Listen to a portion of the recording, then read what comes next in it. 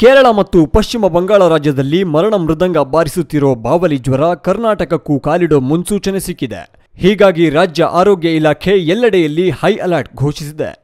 ಈ ಬಾವಲಿ ಜ್ವರವನ್ನು Nipah virus fever ಅಂತ ಕರೆಯಲಾಗುತ್ತೆ. ಸದ್ಯದ ಪರಿಸ್ಥಿತಿಯಲ್ಲಿ ಈ ಜ್ವರಕ್ಕೆ ಔಷಧಗಳು ಇಲ್ಲದೇ ಇದ್ರೂ ಸೂಕ್ತ ಮುನ್ನೆಚ್ಚರಿಕೆ ತೆಗೆದುಕೊಳ್ಳೋದ್ರಿಂದ ಈ ಜ್ವರದ ಪರಿಣಾಮವನ್ನು ತಡೆಗಟ್ಟಬಹುದಾಗಿದೆ. ಯಾವುದೇ ವ್ಯಕ್ತಿಯ ದೇಹದಲ್ಲಿ ರೋಗ ನಿರೋಧಕ ಶಕ್ತಿ ಚೆನ್ನಾಗಿದ್ದರೆ ಯಾವುದೇ ರೋಗವೂ ಸಹ ಹತ್ತಿರ ಬರೋದಿಲ್ಲ.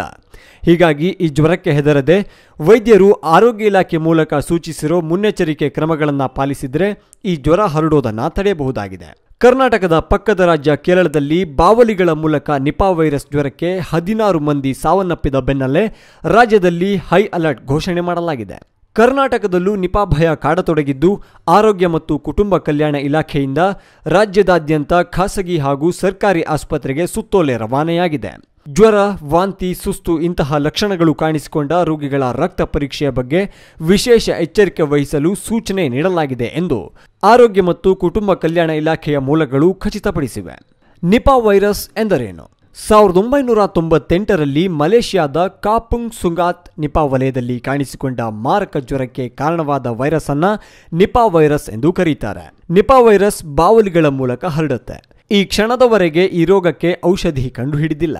ಹೀಗಾಗಿ ನಿಪಾ ವೈರಸ್ ಮಾರಣಾಂತಿಕ ಎಂದೇ ಕುಖ್ಯಾತಿ ಪಡೆದಿದೆ. ಈ ವೈರಸ್ ಪತ್ತೆಯಾದರೆ ಶೇಕಡ ಐವತ್ತರಷ್ಟು ಸಾವು ಖಚಿತ ಎನ್ನಲಾಗಿದೆ. ಈ ಮಾರಣಾಂತಿಕ ರೋಗ ಹರಡೋದಾದ್ರೂ ಹೇಗೆ ಅಂತೀರಾ? ಸಾಮಾನ್ಯವಾಗಿ ಸೋಂಕಿರುವ ಬಾವಲಿ ಕಚ್ಚಿದ ಹಣ್ಣನ್ನ ತಿನ್ನೋದ್ರಿಂದ ಇದು ಹರಡುತ್ತೆ. ಇದು ಸಾಂಕ್ರಾಮಿಕ ಕಾಯಿಲೆಯಾಗಿರುವುದರಿಂದ ರೋಗಗ್ರಸ್ತ ವ್ಯಕ್ತಿಯಿಂದ ಮತ್ತೊಬ್ಬ ವ್ಯಕ್ತಿಗೆ ಹರಡುತ್ತೆ. ಹೀಗಾಗಿ ಈ ಜ್ವರ ಕಾಣಿಸಿಕೊಂಡ ಕೂಡಲೇ ಚಿಕಿತ್ಸೆ ಕೊಡಿಸಲು ಮುಂದಾಗಿ.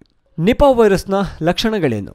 ಜ್ವರ, ತಲೆನೋವು, ವಾಂತಿ ತಲೆಸುತ್ತುವಿಕೆ ಕೆಲವರಲ್ಲಿ ಅಪಸ್ಮಾರದ ಲಕ್ಷಣಗಳು ಕಾಣಿಸುತ್ತವೆ. ಈ ಲಕ್ಷಣಗಳು ಸಾಮಾನ್ಯವಾಗಿ ಹತ್ತರಿಂದ ಹನ್ನೆರಡು ದಿನ ಕಾಣಿಸುತ್ತದೆ. ಬಳಿಕ ಪ್ರಜ್ಞಾಹೀನರಾಗುತ್ತಾರೆ. ನಂತರ ಈ ಜ್ವರ ತೀವ್ರವಾಗಿ ಮೆದುಳಿಗೆ ವ್ಯಾಪಿಸುತ್ತೆ. ಕೆಲವು ಬಾರಿ ಸೂಕ್ತ ಚಿಕಿತ್ಸೆ ಲಭಿಸದಿದ್ದರೆ ಸಾವು ಕೂಡ ಸಂಭವಿಸಬಹುದು. ಈ ರೋಗವನ್ನು ತಡೆಯೋದು ಹೇಗೆ? ನಿಮ್ಮ ದೇಹದಲ್ಲಿನ ರೋಗ ನಿರೋಧಕ ಶಕ್ತಿಯನ್ನ ಹೆಚ್ಚಿಸಿಕೊಳ್ಳೋದು. ಮನೆಯಲ್ಲಿ ಲಭ್ಯವಿರುವ ಉತ್ತಮ ಆಹಾರ ಪದಾರ್ಥಗಳನ್ನ ಸೇವಿಸೋದು.